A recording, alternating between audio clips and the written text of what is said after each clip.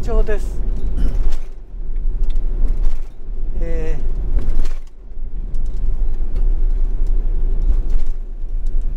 ー、待ってよ。あ際どいとこにいますね。えー、間もなく厚岸町に入ります。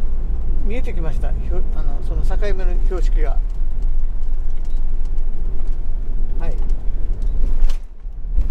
怪しいなと思ってちょっとあのナビで確かめました。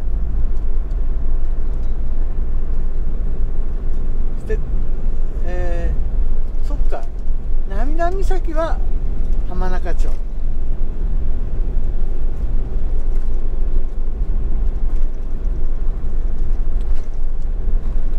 早目ヶ原は厚岸町。ですね。あそれちゃんと自分は知らなかったなって思います。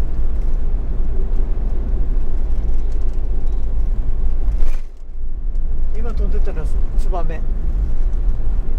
え堂々123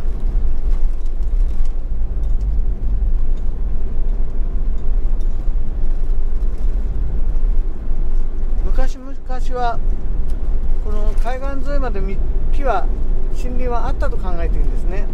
だけど一度牧草にして元に戻したいなと思っても簡単には戻らないということが分かってるんですね。あのそれで苦労して戻すぞって戻したのがどこでしたっけ？えりも町ですね。えりも岬の周辺がに森が復活しています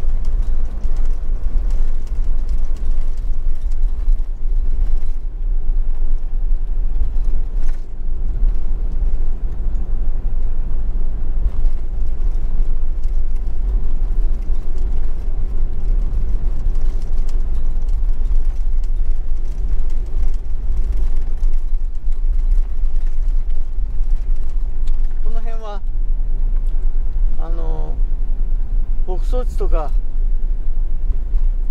この道の周辺ないから熊がとにかくいるわけですよ。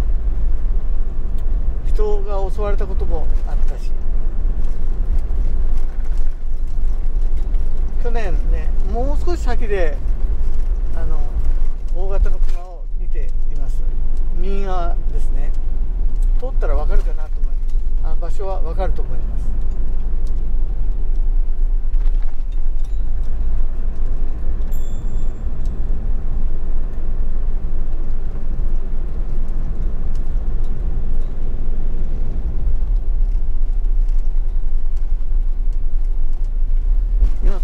で少しだけキョロキョロしてキョロキョロ走ってます。見ながら。あ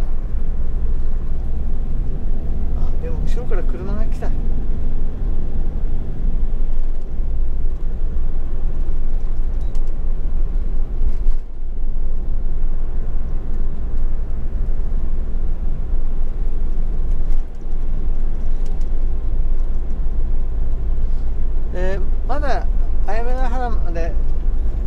まだありますね。距離が、えー、一旦切ります。